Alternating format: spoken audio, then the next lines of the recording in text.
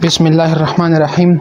So today I am going to talk about a very important topic that is dopamine, dobutamine and norepinephrine as well as epinephrine. Which one can be used in which patient and what is the dosage of each of them and how they differ in mechanism of action. So if we are having a patient with septic shock what is the drug of choice out of these? Epinephrine or norepinephrine? The answer is norepinephrine.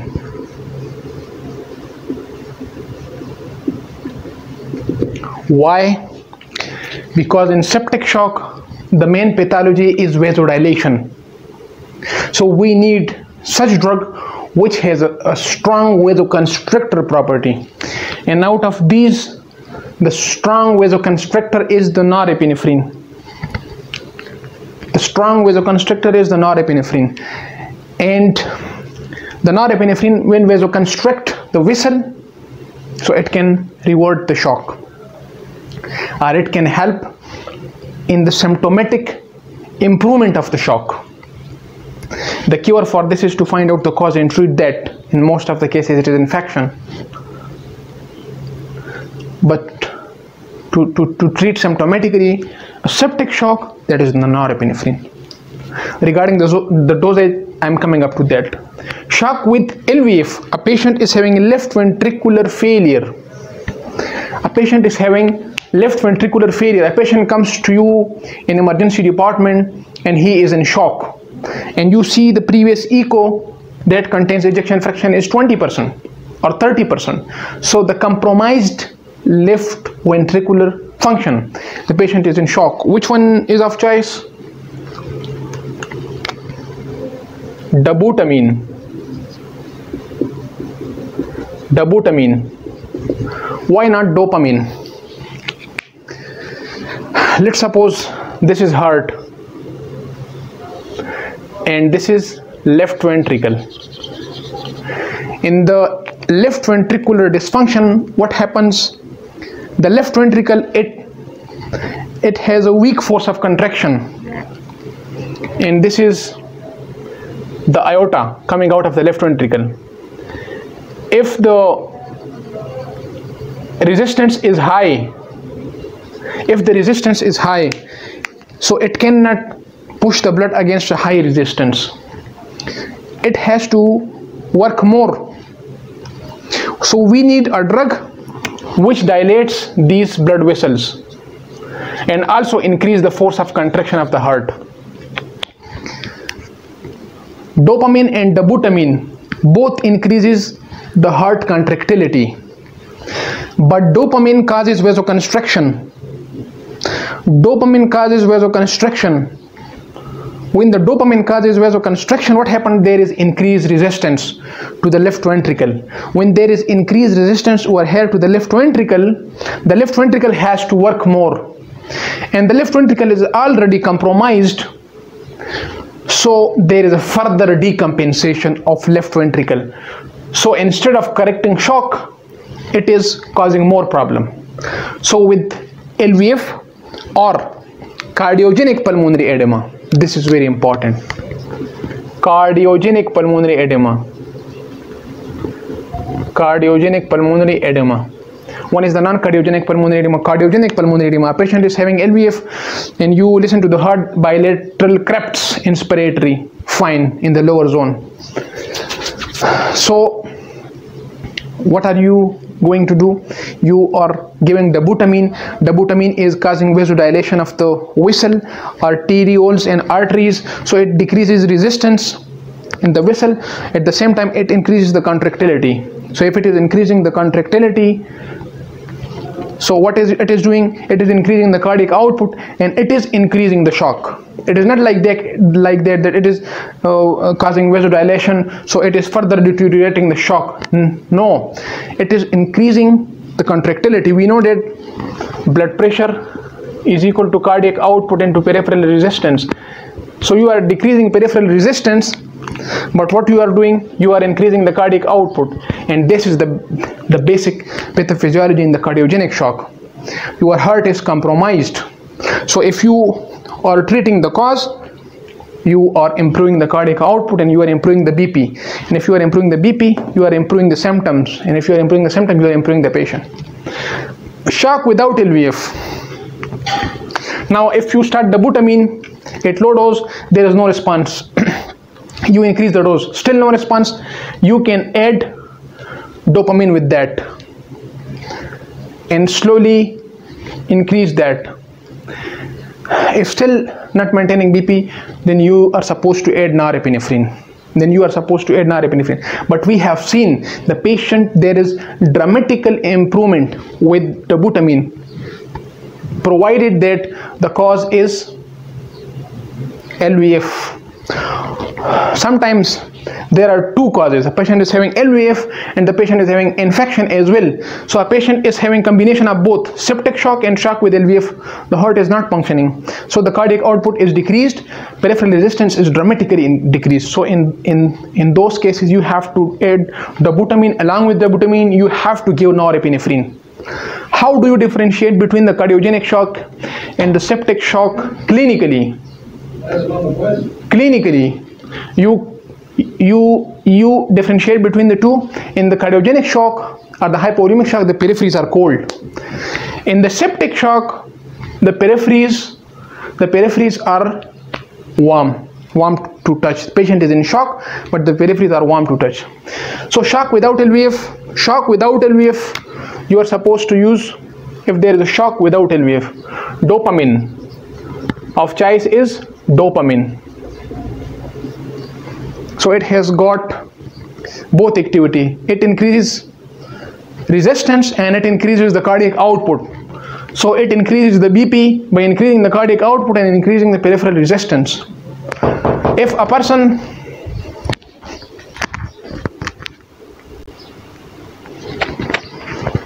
so shock without lvf of choice is dopamine. If the bp is not improving you add dobutamine if still not improving you add norepinephrine. But the first of choice is dopamine. In anaphylaxis in anaphylaxis what is the drug of choice? Adrenaline. And why? Why not the norepinephrine? The reason being in anaphylaxis we are having bronchospasm. And we are having vasodilation. So we are having two things. If we give norepinephrine it will improve the shock. It will improve the bp but the effect of norepinephrine at the beta 2 receptor in the airways or the pulmonary system is very weak. So it cannot bronchodilate that much as the adrenaline is doing. So adrenaline causes bronchodilation and vasospasm. Causes vasospasm. And act on the heart to increase the cardiac output increases the rate heart rate. So it increases the cardiac output it increases the peripheral resistance it improves the bp and also it covers the chest. So it covers the both. So what is mean by the single support double support and triple support? Single support mean you start the patient along you start the patient according to these data first line. Patient is not improving. You first add the increase the dose. Still the bp is not maintained. You add another drug. Still the bp is not maintained. You add another drug. So if the patient is started on all of the three things dopamine dobutamine norepinephrine this is called triple support. This is called triple support. Dual support mean person is on two drugs. Single support mean person is on single drug. Now coming toward the doses. Coming toward the dosage of dopamine. So forget about that long formula that is given in the books. I have simplified it into this. Weight into 6 divided by 40 it will give you the answer in cc put that amount of cc in 100 cc normal saline for example a patient is having weight of 60 kg so 60 multiplied by 60 divided by 40 it gives 360 by 40 it gives 9 cc so this answer come from this. So this 9 cc put it in either 91 cc of normal saline or put it in 100 cc of normal saline. That that makes no difference. Well the, ideally you have to put 9 cc into 91 cc normal saline to, to make final solution of 100 cc but that is not necessary put this in 100 cc normal saline.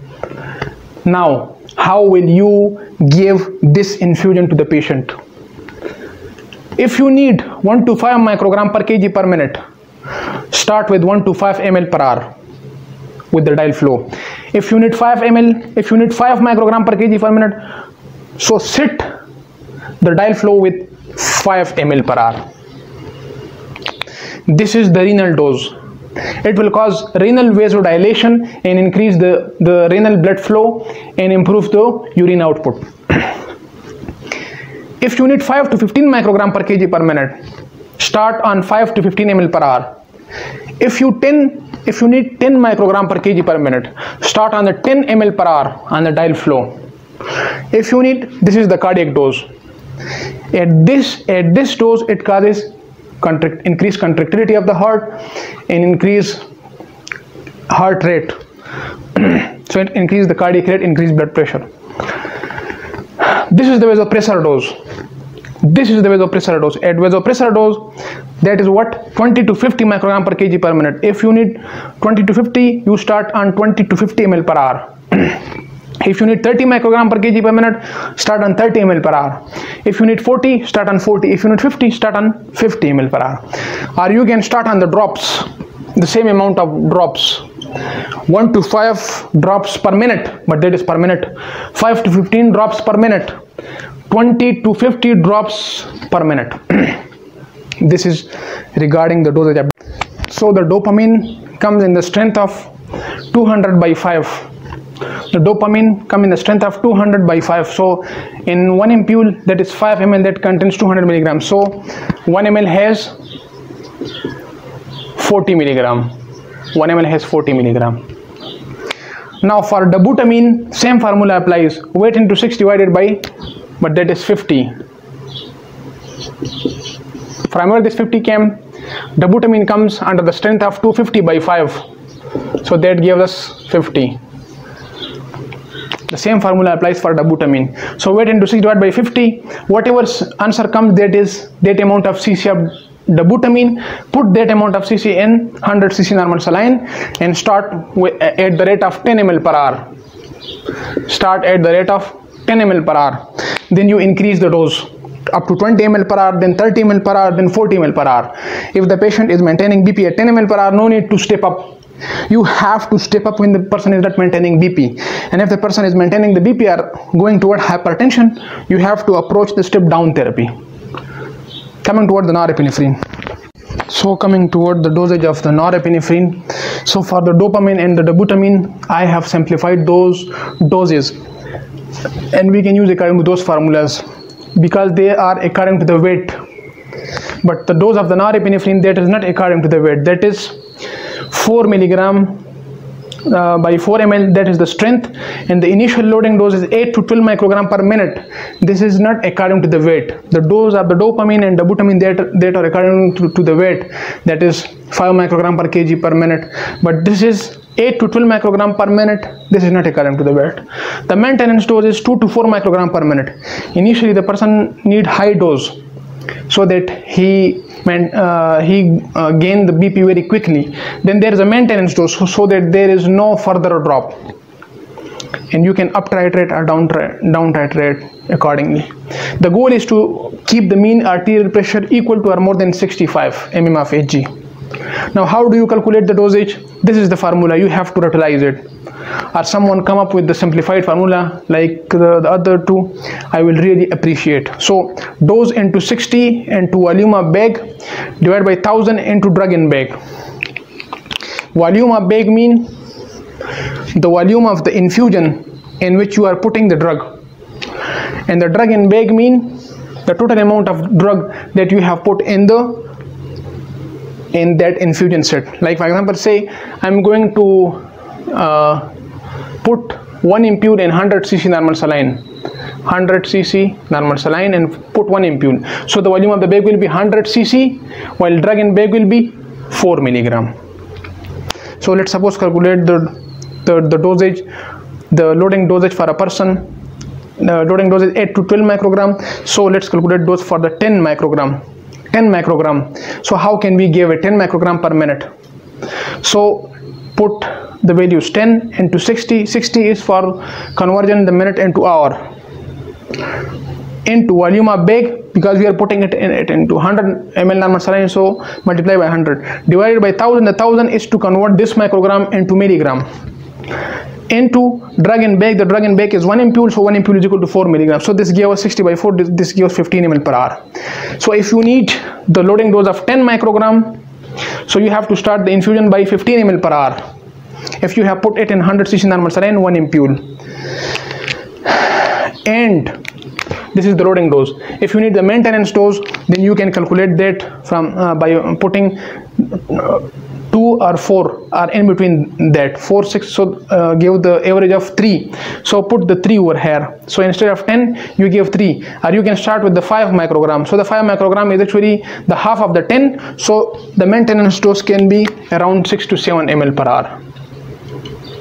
So if the person once again reaches the mean arterial pressure of equal to or more than 65 so you drop this ml per hour to 5 to 7 ml per hour yeah 6 to 7 ml per hour. This is the maintenance dose. You can up titrate this dose also. Patient is not maintaining bp you goes up. Even if at the full dose the person is not maintaining bp look for occult blood loss. Look for occult fluid loss. Look for the fluid deficiency. So you give fluids along with the norepinephrine. A person is having profuse diarrhea and you are not replacing the fluid rather you are replacing the norepinephrine. It will not help the patient. The rule is that whatever the patient is losing replace that. If the patient is losing the blood replace with blood. If the patient is using the the fluids replace the fluids. So this is the basic criteria. So this was the dosage for norepinephrine